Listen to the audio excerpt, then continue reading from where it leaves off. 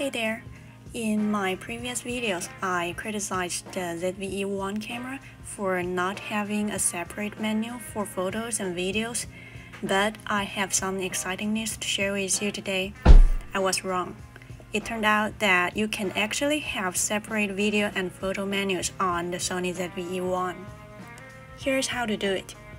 Go to the main menu and select Setup then choose Operation Customize under number 3.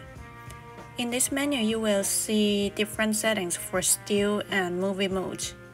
By default, all of the items are unchecked, so make sure to select the ones that you want to separate.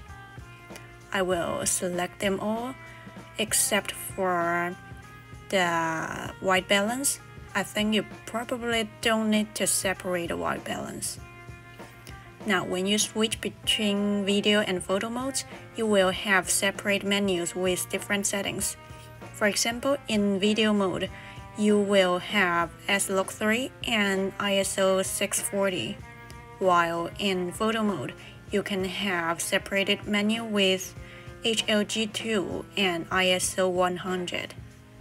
This is a game changer for anyone who wants to streamline their workflow and save time when switching between photo and video modes. No more scrolling through a long menu to find the settings you need.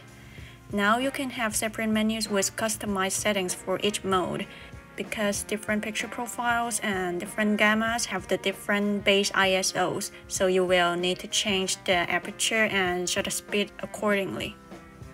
I hope this tip helps you get the most out of your Sony ZV-E1 camera. Let me know in the comments if you have tried it out and how it improved your experience. I'll see you next time.